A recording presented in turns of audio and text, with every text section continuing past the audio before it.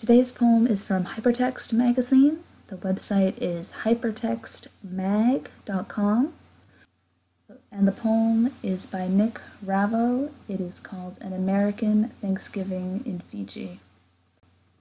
Texas tourist, sun-drunk, kava nambula, weary, bored by barramundi, longing for a butterball, plops 10-gallon and a Speedo into an Alka-Seltzer jacuzzi, steam-scented with chlorine and coconut oil, while pigwood waiters, bead buskers, and towel boys, straw skirts, orchid ears, and palm husk pigment encircle the bubbly, blue tile kettle like cargo cult cannibals, giving thanks for a parboiled, time-beaten, big mouth cowboy.